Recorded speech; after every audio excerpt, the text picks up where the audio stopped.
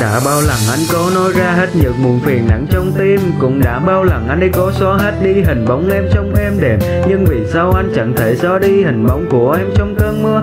Và tại vì sao khi anh càng xóa thì anh lại càng yêu thương em nữa? Chắc có lẽ là do ông trời sắp đặt cho mình ở bên nhau. Nhưng ta có duyên mà không có nợ, chỉ như bức tranh chưa vẽ màu. Giá như anh là họa sĩ, Anh có thể vẽ một bức tranh. Có anh và em hai ta sẽ sống cho đến khi tóc bạc màu. Và đó cũng chỉ là niềm ao ước của thằng con trai lúc đang yêu. Trong khi anh chẳng phải là kim trọng, còn em lại xinh như nàng kiều. Bản thân anh thì lo chưa xong, Tiền nhà thì vẫn còn đang thiếu. Chỉ những thứ đó nó cũng đủ làm anh chẳng thể nào nói ra từ yêu. Tình cảm anh trao cho em là thật, chuyện đó anh không hề nói điêu. Nhưng vì anh vẫn còn đang nghèo khó thì làm sao nói cho em hiểu? Vậy nên anh đành chấp nhận buông tay để em được vui bên người ta. Anh vẫn luôn dõi theo em, mong em Đừng xem anh như người lạ, Những nỗi buồn của anh cũng chỉ gói gọn có vài câu. Nhưng đó là cả một quá trình dài vun đắp kỷ niệm đấy từ lâu. Anh nhớ những lúc khi em cười, Anh nhớ những lúc khi em đau. Và anh nhớ những lúc em khóc vì giọt nước mắt anh khẽ lâu. Những nỗi buồn của anh cũng chỉ gói gọn có vài câu. Nhưng đó là cả một quá trình dài vun đắp kỷ niệm đấy từ lâu. Anh nhớ những lúc khi em cười, Anh nhớ những lúc khi em đau.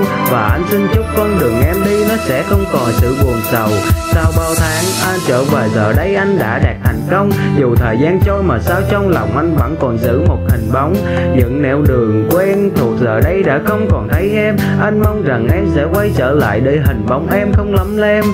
Anh nhớ mỗi lúc chiều tà lúc ta trên đường đi học về, Và càng nhớ đến những lúc bị phạt khi ta chuyện trò nên đến trễ. Những kỷ niệm đó vẫn còn đây mà người ở đâu anh chẳng thấy. Anh mong rằng gió sẽ mang nỗi buồn của anh gửi vào mây. Anh cảm ơn ông trời đã giúp cho anh tìm thấy em, Nhưng em lại là một bóng hồng đẹp của một đám cưới. Anh đứng xem, Giọt nước mắt anh đã rơi, cũng là giọt nước mắt đầu tiên. Tâm trí của anh bây giờ nó cứ như là hóa người điên.